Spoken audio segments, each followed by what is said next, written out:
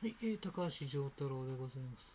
またですね、池上彰さんのですね、記事が出てきてですね、えー中国共産党員の池上彰は、他人の意見やアイデアを自分の意見としてテレビで何度も発表と書いてありますね。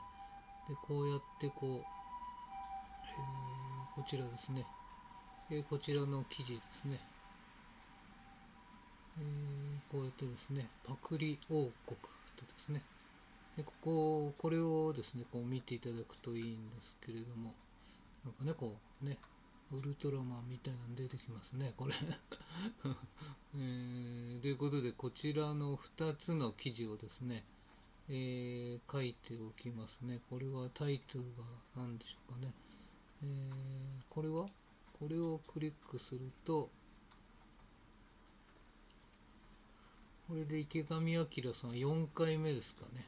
4回目。4回目ですね。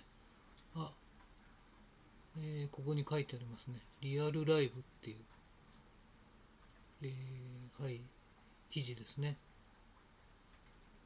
池上 MeToo か。